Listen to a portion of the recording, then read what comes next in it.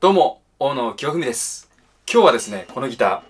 ー、VG というメーカーですね。VG というメーカーのカスタムモデルを紹介したいと思います。VG というメーカー皆さんご存知でしょうか？私もね、あんまり実は知らなかったんだけど、このギターがあまりにいいので皆さんにご紹介したいと思って今日は動画撮ってます。で VG というメーカーは寺田楽器という日本の楽器製作会社が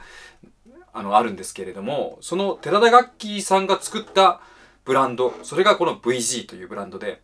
まあちょっとしたオーダーメイド的なギターなんだけど、これがとても音が良くてびっくりしたんですよね。今日はその秘密に迫りたいと思います。寺田楽器さんといえば、あの、OEM といって、いろんな楽器屋さんからその、外注されてギターを制作するという、そういうメーカーなんですけど、私も当時持っていたんですけど、日本製のカジノ、あのとても評判のいいエレキギターだったんですよね。で、その、それを作っていたのがこの、実は寺田楽器さんです。非常にいいギターを作る会社として、ギター好きには知られた会社なんですけど、その寺田楽器が出しているブランドがこの VG というブランド、ロゴが可愛いですね、VG。で、こちらの、これは世界に1本のモデルなんですよね。今日のギター。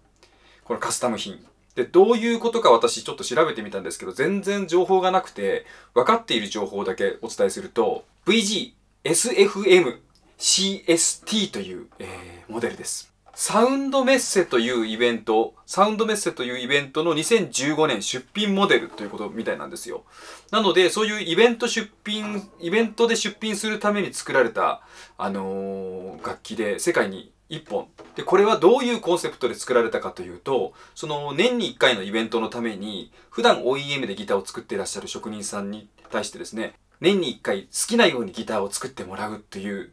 こと、そういうコンセプトで制作されたギターです。なので、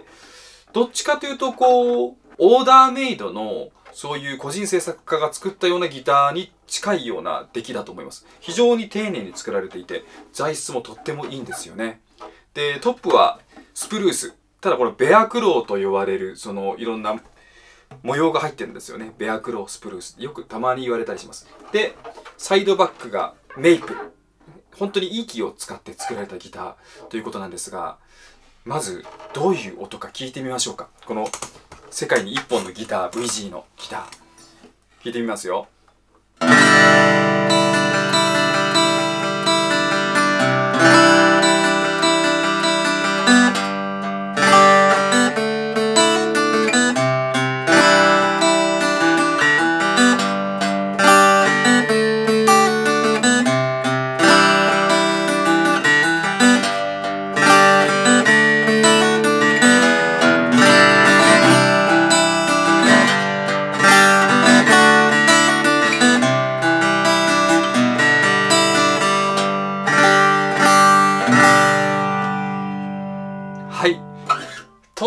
も豊かな綺麗な音がします。キラキラして、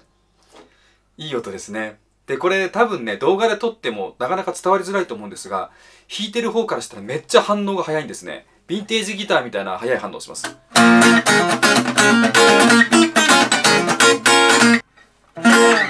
反応がやっぱりとっても速いいいギターですね。私がいいギターと定義するギターはもう漏れなく反応がいいという。で、このギター実はいくつもの特徴があって、ちょっとご紹介すると、実はこの形、ちょっと面白いと思いますよね。で、この形実はですね、ギブソンの L1 というすごい戦前のもうアコースティックギターのすごい初期のモデルの特徴的な形と同じ形をしてるんですよね。L1。あの、ロバート・ジョンソンというブルースの神様がこうギターこうやって抱えてる写真有名ですけど、それと同じ形です。L1 という形をおそらく参考にしてるでしょう。なので、ギブソンの L1 の形を参考に、で、L1 は、あの、マホガニサイドバックのトップスプルースだったりしますけど、本当に初期の頃はメイプルだったようで、そういう意味では本当に初期の仕様ですね。そして最大の特徴は、12フレットジョイントなんですよね、ここ。このジョイントの部分が普通は14フレットのギターが多いんですけど、これは本当にガットギターと同じ12フレットジョイント。まあ、L1 もそういうモデルですけど。なので、ちょっとネックがこっち側に行ってるって感じなんですけど。で、最初その12フレットジョイントって、あのもうちょっと弾きづらくなるだけじゃないかと思って私勘違いしてたんですけど大きな誤解でした。今回の動画で一番言いたいのはこの12フレットジョイントのギターがいかに素晴らしいかっていうのを私再発見したので、えー、それをご紹介したいなと思います。これねガットギターの作りとここは同じなんだけど本当にアコースティックギターとガットギターの中間みたいな素晴らしい音がするんです、えー、具体的には例えば高音源ですね。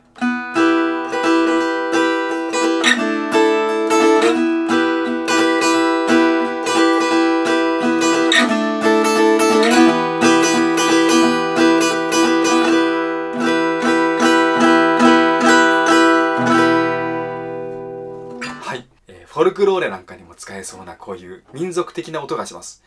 なのでアコースティックギターとはこれは多分違う楽器の認識ですですかね聞いてて。で非常に私の好みの音が出るのでびっくりしたんですよね。普通に弾いてても反応も速いし。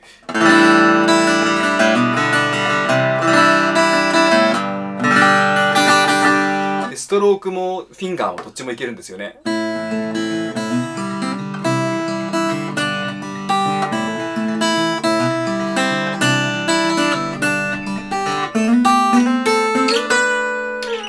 してガットギターのようなこの特に12弦の響きですかね。こ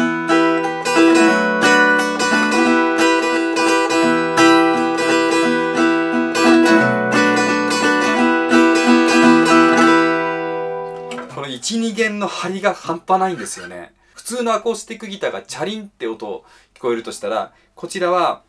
うーんとカラランコロロンっていう丸い音なんだけど丸くなりすぎてないアタックもとてもあるという素晴らしい音ですね。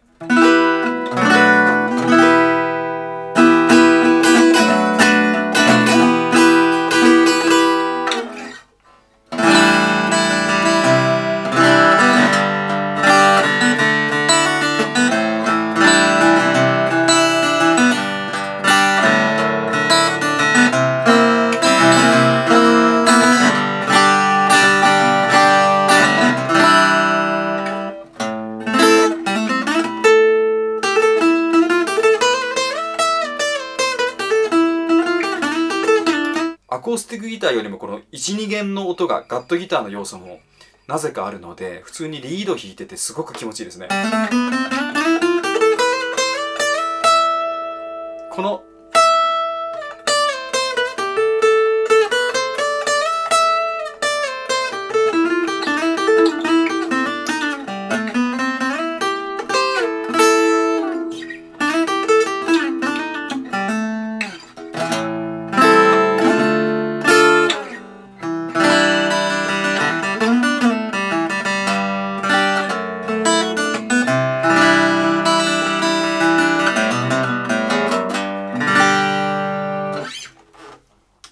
非常に気持ちいい音。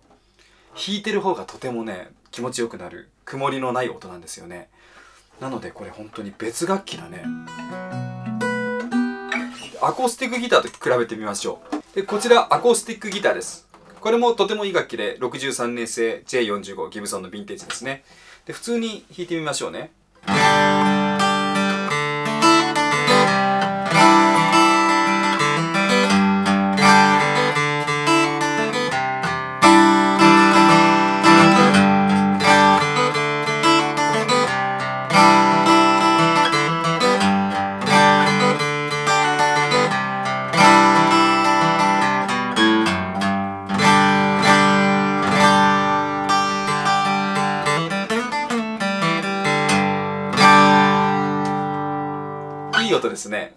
アコースティックギターとしてはとてもいい音してます。でさっきみたいなこういう高音源弾いてみましょうか。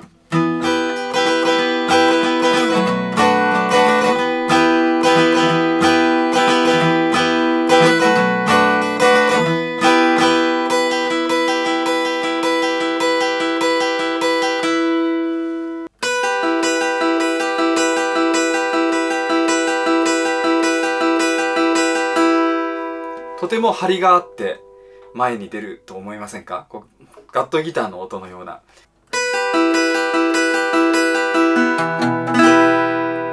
ガットギターと中間みたいな音がするんです。私本当にハイポジション弾きづらいかなと思ったけど思ったよりもね弾けたりもするしちょっと食わず嫌いだったと思ってもっと早く出会いたかったこの12フレットジョイントのギターというものに。こんなに素晴らしい音がするとは正直思ってなくて普通のアコースティックギターとしても使えますしこういうカッティング？カッティングもとても冴えるしそして優しく弾けばガットギターみたいな音もするしフィンガーピッキングもすごい得意なギターなんですよね。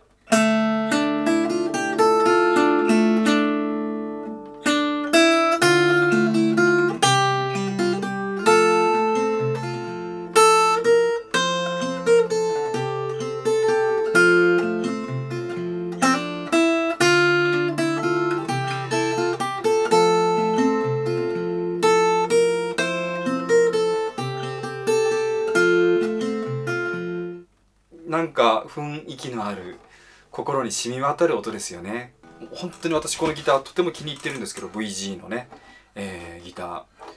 ただこれ欲しいと思ってもなかなか出るもんじゃなくて世界に1本こうイベントのために作られたようなギターなので、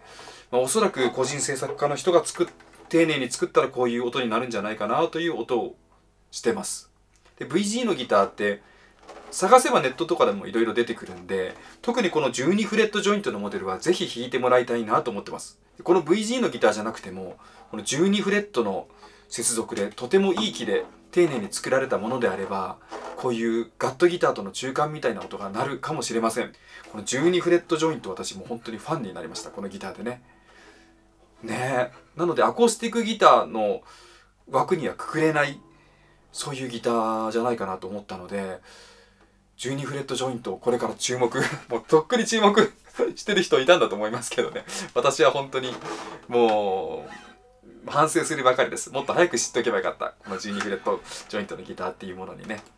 えー、というわけで今日は VG のこの特注のモデルについてご紹介しました、えー、もしよかったらチャンネル登録よろしくお願いいたします。大野清文でした。